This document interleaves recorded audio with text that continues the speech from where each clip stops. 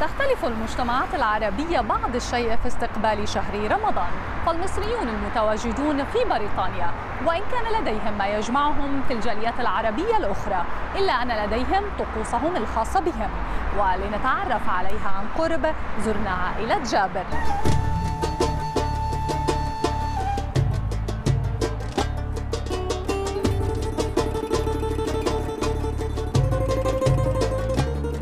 بعد الترحيب الحار الذي قبلنا به من قبل العائلة لحظة دخولنا المنزل وهو ما يمتاز به المصريون.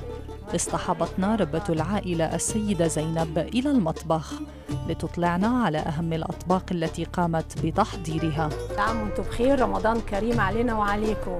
وإن شاء الله نقضيه سنة حلوة السنة دي. أنا بعمل ملوخية والملوخية دي من الأكلات المصرية على شط المشهورة قوي على الصف السفرة في مصر أو هنا في لندن.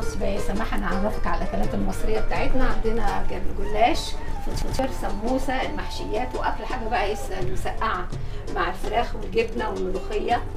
والمحشي بقى طبعا من الأكلات المشهورة في مصر دي ما في أحلى منها بقى عندنا.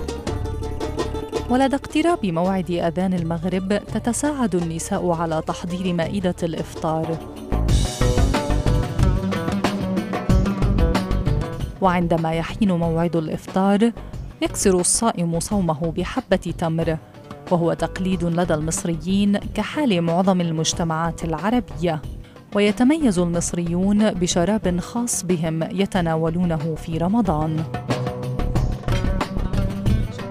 هل هذه أحد المشروبات الرمضانية التي تشتهر بها المائدة المصرية؟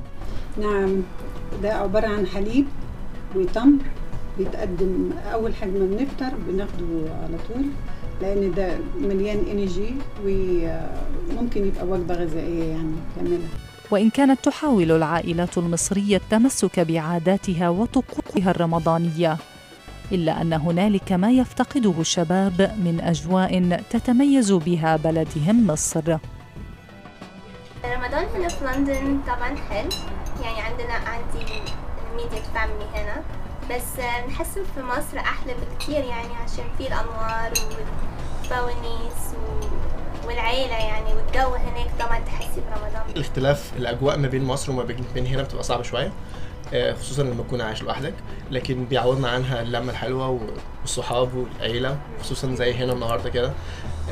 بحس إن أنا في وسط أهلي بحس إن أنا في وسط ناس بتحبني وبحبهم وبحس برمضان بجد. أجمل ما يميز رمضان لدى الجالية المصرية في لندن هو تجميع الأحبة والأصدقاء وأفراد العائلة. الأمر الذي يصعب القيام به خارج أوقات رمضان. سمح حمدان من منزل السيد جابر لندن بي بي سي.